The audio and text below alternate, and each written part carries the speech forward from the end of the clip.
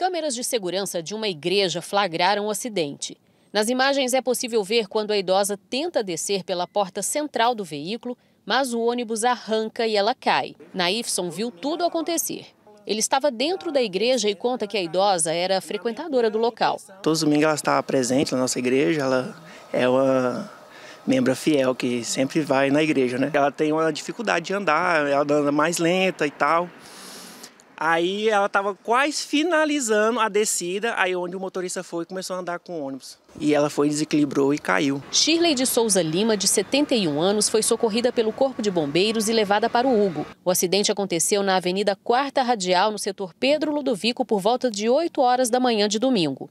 No registro de atendimento feito pela Polícia Militar, o motorista do ônibus disse que teria esperado o desembarque dos passageiros, acompanhando tudo pelos retrovisores interno e externo do veículo. Na visão dele, não havia mais ninguém para descer, por isso ele acelerou. Só parou em seguida depois de ouvir os gritos da vítima e de outros passageiros. O motorista aguardou no local a chegada do socorro e foi submetido ao teste do bafômetro, que deu negativo. Em nota, a Rápido Araguaia Transportes lamentou o acidente e disse que está prestando assistência à vítima, além de acompanhar de perto o estado de saúde dela. De acordo com o último boletim médico, a idosa passou por uma cirurgia de amputação do braço esquerdo, está internada na enfermaria e o estado geral de saúde é regular.